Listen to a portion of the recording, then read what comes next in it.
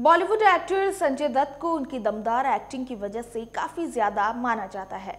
जल्दी अभिनेता फ़िल्म लियो में नज़र आने वाले हैं। ये फ़िल्म इस साल की मोस्ट अवेटेड फ़िल्मों में से एक है। इस फ़िल्म का निर्देशन लोकेश कनकराज ने किया है। अब इस फ़िल्म का पहला पोस्टर रिलीज़ हो चुका है। इस पोस्टर में विजय थलापति और संजय दत्त का पहला आमना सामना होते हुए दिखाया गया है। आपको बता दें कि फ़िल्म की रिलीज़ को बस एक महीने का समय बचा है। ऐसे में फ़िल्म निर्माताओं ने फ़िल्म का प्रचार शुरू कर दिया है और ये पूरे जोरों शोरों से चल रहा है। इस फ़िल्म के ज़रिए संजय दत्त अपना तमिल डेब्यू करने जा रहे हैं। वही लियो का पहला पोस्टर संजय दत्त ने अपने सोशल मीडिया हैंडल पर शेयर किया है।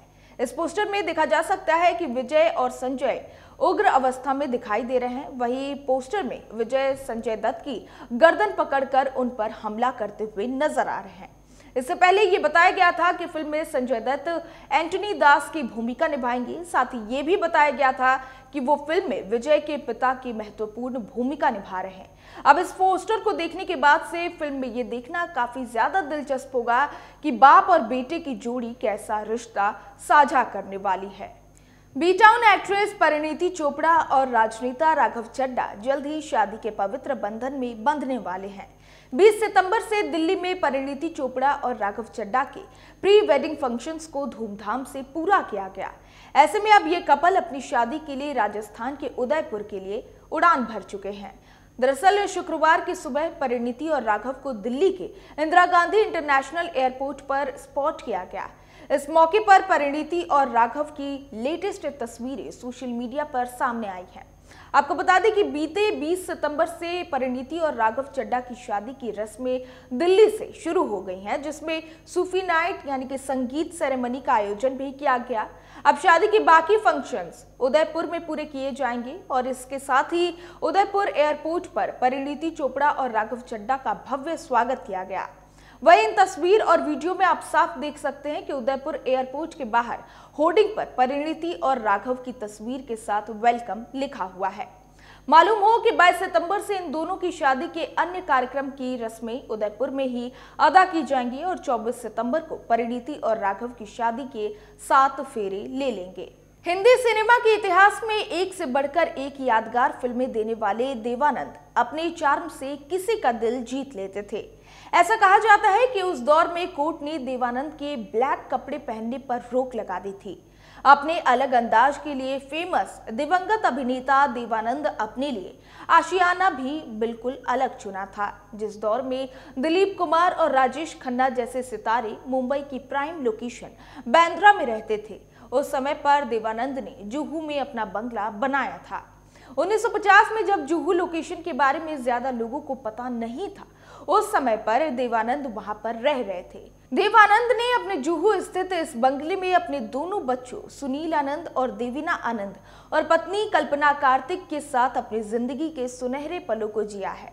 कुछ दिनों पहले ये खबर आई थी कि देवानंद का बंगला उनकी सौवीं बर्थ एनिवर्सरी पर बिक गया है, जिसकी जगह टावर खड़ा होने वाला है। बताया जा रहा है कि तिहत्तर साल पुराना बंगला करीबन 350 करोड़ से लेकर 400 करोड़ की कीमत में बिका है। वही रिपोर्ट्स के अनुसार उनके इस बंगले की जगह अब वहाँ पर 22 मंजिला बड़ा टावर बनेगा। डायरेक्टर संदीप रेड्डी वांगा की अगली फ़िल्म, एनिमल को लेकर के फैंस के बीच ज़बरदस्त हाइप बना हुआ है।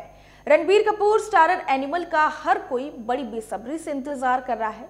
अब तक इस मूवी में रणबीर के लुक सामने आ चुके हैं, जिनको देख करके फैंस की एक्साइटमेंट लेवल काफ़ी ज़्यादा हाई हो चुकी है। अब एनिमल से हिंदी सिनेमा के दिग्गज कलाकार, यानी कि अनिल कपूर का फ़र्स्ट लुक पोस्टर के साथ ही रिवील कर दिया गया।